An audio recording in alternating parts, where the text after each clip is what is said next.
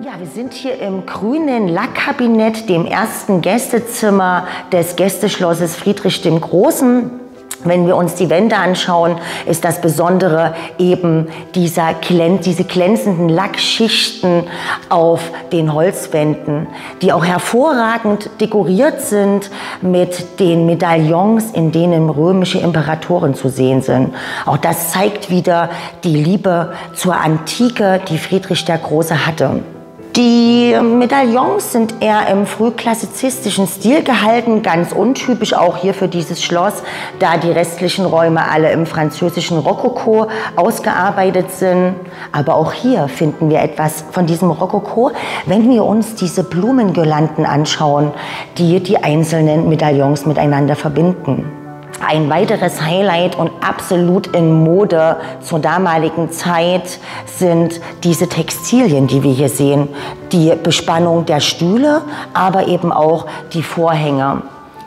Und zwar handelt es sich hier um den sogenannten flammigten Taft. Das bedeutet, dass der Kettfaden vor dem Weben gefärbt wurde. Und dann wurde der Schussfaden ähm, erst eingewebt. Und somit entstand dieses ähm, flammigte, also von Flamme, Spitze ähm, Muster, das vom Weiten sehr verwaschen aussieht und schillernd.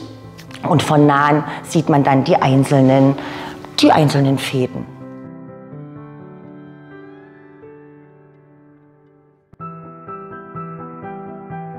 Ja, ein weiteres Highlight hier im Gästeapparat ähm, der neuen Kammern von Sanssouci ist das sogenannte große Intarsienkabinett. Großes Intarsienkabinett, sagt der Name schon. Das heißt, hier im Schloss befindet sich auch noch ein kleines Intarsienkabinett.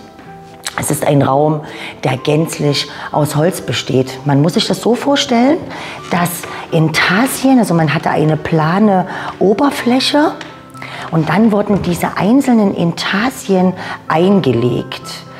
Ähm, und hier sehen wir jetzt erstmal große Rahmen. Diese Rahmen sind miteinander verbunden durch zartes Gitterwerk. In diesen Abschnitten findet man dann Kartuschen. In den Kartuschen sind dann Musikinstrumente, aber auch Jagdinstrumente abgebildet. Diese Holzeinlege-Intarsien wurden eingefärbt, bevor man eben sie hier eingesetzt hat. Somit muss man sich vorstellen, dass es gerade zur Zeit Friedrich des Großen auch unglaublich farbig und prächtig hier aussah und ähm, man den Eindruck hatte, man befindet sich in einer Gartenlaube.